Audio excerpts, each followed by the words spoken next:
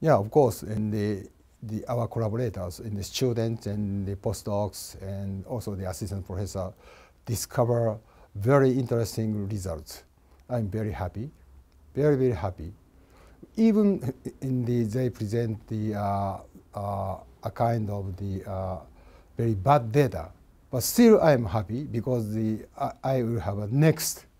So the science is almost advanced.